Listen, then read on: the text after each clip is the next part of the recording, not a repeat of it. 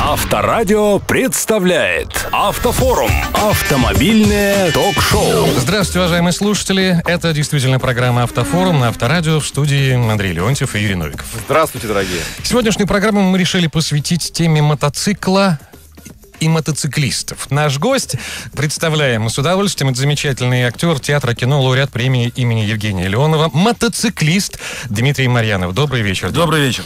Сегодня какой мотоцикл? Сегодня у меня Suzuki Intruder, э, чоппер, полтора литра объем. Он у меня уже лет семь. И пока менять его не собираюсь, он, он мне очень нравится. Выбор мотоцикла тобой был основан прежде всего на каких-то эстетических воззрениях. Да. То есть он был, не был вызван никакими практическими соображениями. Нет, практически да, э, но это потом я уже понял. Потом уже в крупных городах сменилась и аудитория. То есть пришли люди совсем с другим менталитетом. То есть люди, для которых это все-таки игрушка. Да? Ну, в общем, да. Кстати, Дмитрий, как вы ездите? У меня были, слава богу, хорошие, хорошие учителя. Первое, что они мне сказали, э, значит, э, пойми, мотоцикл это э, транспортное средство повышенной э, опасности. Но хуже только снегоход и квадроцикл, на самом деле. Ну да. Да, да. Вот, на дороге. Вот, и поэтому они сказали, просто знай, что на дороге ты никто. На, на дороге тебя нет, тебя не видно. Начнем мы с видео, мы его покажем. Э, вот, смотрите. Мы объясняем. Перед, перед нами перекресток.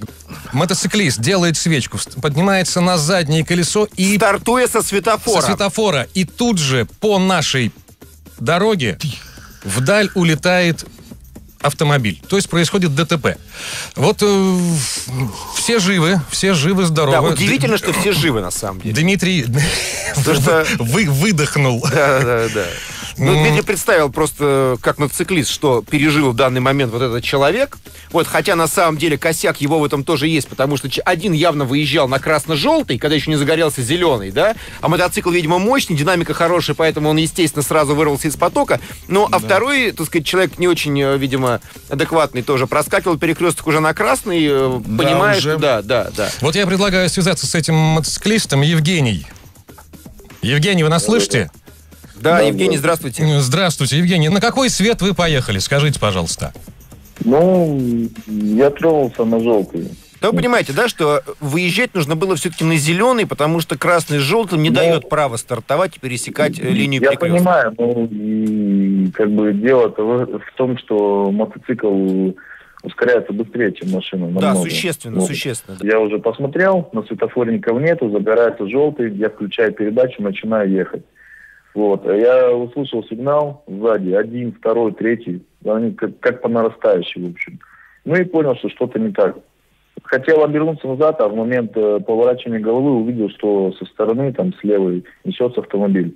Ну и как-то э, просто давно уже как занимаюсь, можно сказать, э, стандрайдингом.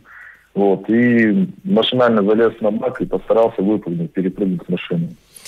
Евгений, спасибо вам большое. Ну, слава богу, что вы остались живы. Мотоцикл, ладно, все это кусок железа. Главное, что вы остались живы, и все, в общем, обошлось благополучно. Кстати, по, вот по иронии судьбы, вот этот водитель, это его школьный товарищ. Прекрасно. И то есть, в общем, они как бы не в претензии друг к другу.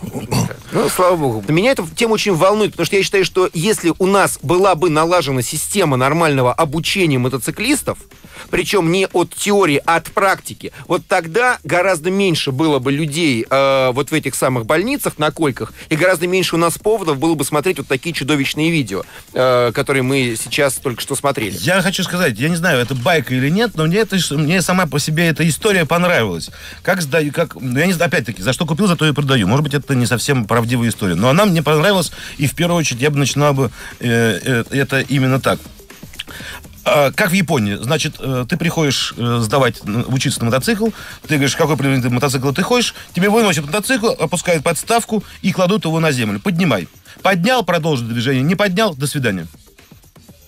А, Отлично. И все. И все, да? Нет, на самом деле это очень хороший критерий, потому что это значит, что ты э, способен э, с этой вещью э, Справиться. справиться, да. Если она упала тебе и лежит на ноге, Да, случайно то там, до свидания, да. то Да. это действительно хорошая вещь. Сегодня у нас в гостях был актер театра и кино «Человек на мотоцикле» Дмитрий Марьянов. Мы прощаемся. Это была программа «Автофорум». До свидания.